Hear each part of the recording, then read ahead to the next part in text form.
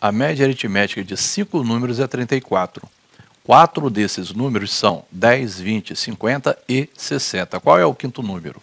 Estamos falando de média aritmética, conforme eu ensinei na aula de explicação. Quando nós estamos falando de média aritmética, faremos o esquema do traço e do sinal de igual. Aqui nós vamos escrever todos os números. Vamos lá, quais são eles? 10, 20, 50, 60 e um outro número desconhecido. Como é que nós representamos números desconhecidos? X. O que, é que você vai fazer com esses cinco números? Você vai somar.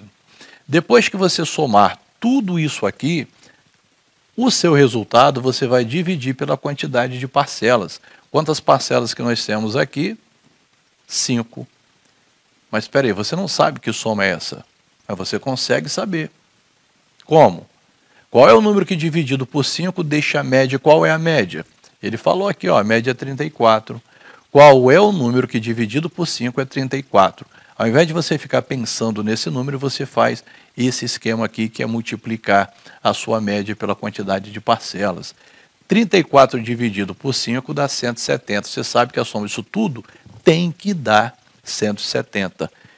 Isso significa que 10 mais 20 mais 50 mais 60 mais x tem que dar 170. É legal, não é? Pode fazer inclusive isso aqui, ó. Pega tudo isso aqui e joga para lá.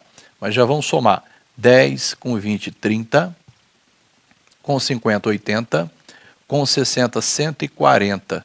Você sabe então que isso tudo aqui dá 140, vamos jogar ele para lá. 170 menos 140, 30. Prontinho. Já sabemos então que esse número, esse quinto número é 30. É fácil ou não é? Então, vamos para a próxima.